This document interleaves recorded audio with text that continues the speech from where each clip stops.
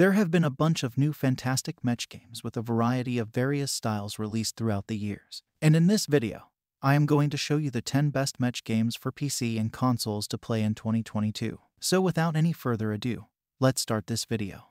The first game of this video is Mech Warrior 5 Mercenaries. MechWarrior 5 expands on the series' signature meaty fighting while also providing new tactical features for slower paced, more concentrated mech combat gameplay. Throughout the campaign, you must tactically construct an army to combat invading armies and do as much havoc as possible. Next up we have Titanfall 2. Because mechs feature so infrequently in Titanfall 2, it's difficult to label the game a mech game. However, it is part of what makes it so enticing. You spent most of the game on foot as a regular player, so eventually getting your hands on a mech after an awesome kill streak feels like a nice reward. Next up we have Mecha Knight's Nightmare. Mecha Knight's Nightmare is a one-man passion project by independent developer Damian Kubiak that is inspired by classic mech series like Armored Core and Front Mission. Set in 2049, during the height of the Second Cold War, you play as Ethan, a teenage American mech pilot forced to face monstrous aliens who invade Earth.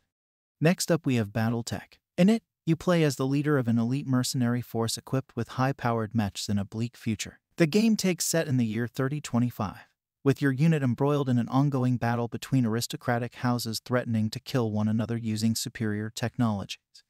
Next up we have the Riftbreaker. You play the character of Ashley, a scientist, commando. Ashley is accompanied by her mech, Mr. Riggs, as the two attempts to create a community on an extraterrestrial planet whose native people aren't very fond of visitors. Alien invaders routinely assault villages, requiring Mr. Riggs to respond by blasting them away with his machine gun, rocket launcher, sword, and other weapons. Next up we have Mighty Goose. In it, you take on the role of Mighty Goose, a mech-wearing fowl who is one of the galaxy's top bounty hunters. You'll be blasting your way through huge 2D stages packed with adversaries, weapon power-ups, and massive powerful mech vehicles. Next up we have B.ARK. B.ARK is another 2D side-scroller with a sad morning cartoon-inspired aesthetic, in which you lead a crew of four-legged pets to become heroes as they protect the Earth against an evil cybernetic fish fleet. The gameplay is designed for cooperation, with you combining your hero's various mech skills to produce tremendous fusion assaults that may rip through adversaries and alter the tide of combat.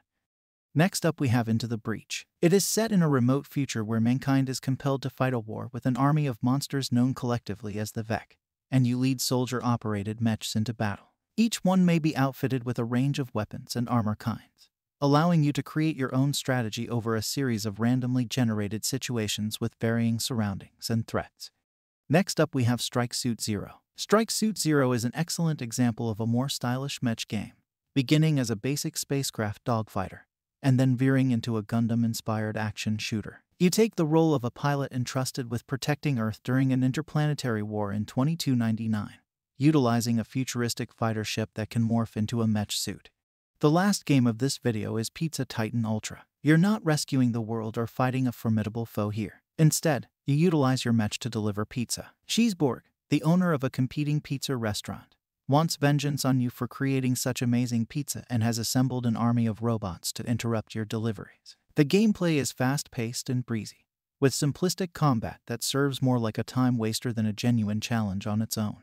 So that's the list of 10 best mech games that you can play in 2022. If you enjoy this video, hit the like button and subscribe to my channel Games Puff and press the bell icon for more gaming videos.